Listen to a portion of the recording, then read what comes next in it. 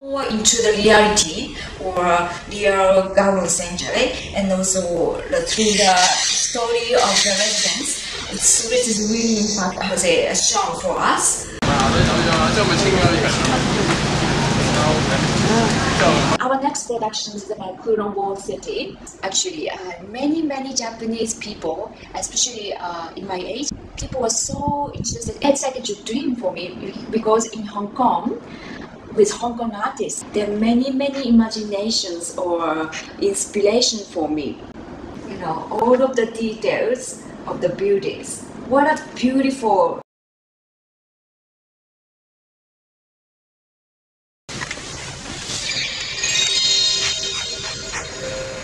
this uh, game.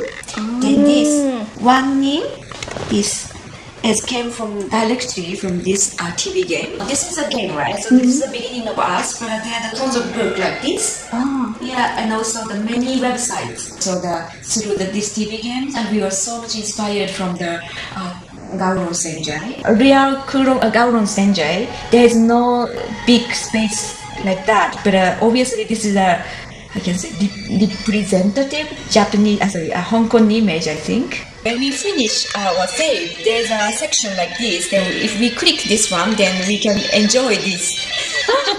really like a Hong Kong style for us.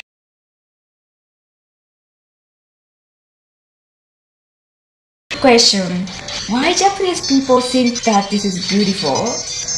But uh, yeah, it's like a sense of beauty. Maybe this is really uh, especially unique or unique point of Japanese viewpoint. Maybe somehow related to Buddhism, maybe. But uh, anyway, so the beauty is always connected to the darkness or dirty or ugly things. Go there, maybe it's so smelly. Then a lot, lot of cockroach. Maybe I will be so scared. But uh, look at those. Everything has a many of the memory or many of the intentions because it's related to the uh, just normal people's life or somebody was there then because of that uh, some object still remain or because of the somebody's uh, you know uh, memory uh, this chair is here. So that i can imagine so many things from the place. There are many cables in the uh, corridor or something.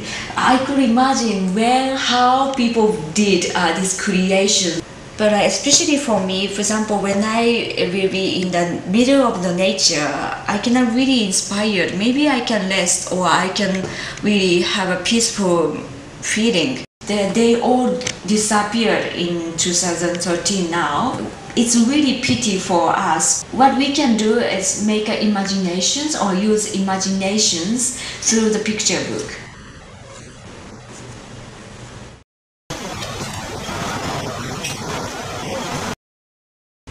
Uh, this is a new Hong Kong, yeah? You know? Of course, you know, I cannot really make a criticism about that, you know? Hong Kong is getting a civilized uh, modern country. Uh, of course, this is maybe good, but those things are not really interesting for me. Like a shopping center in the world looks same. Even in Indonesia, even in Hong Kong, even in you know USA, also even in Tokyo, you know, looks just same. For example, let's say in the 60s or 50s, Japan has this kind of thing. This kind of thing already you guys have. Then, but at the same time, you guys changing like this. But not anymore. We lost. Hong Kong also losing this kind of things. Maybe Bangkok or Indonesia, let's say the uh, and Jakarta still have this kind of Asian energies, or let's say India have, yeah, still have. But uh, like uh, Japanese uh, suffering the dep- you know depressions or mentally ill why you know the because of you know instead of the modernized or clean well organized easy way of living instead of that we lost something very important. So maybe this kind of image remind us what actually we lost. More of course you know it's a it's up to the hong kong people's choice.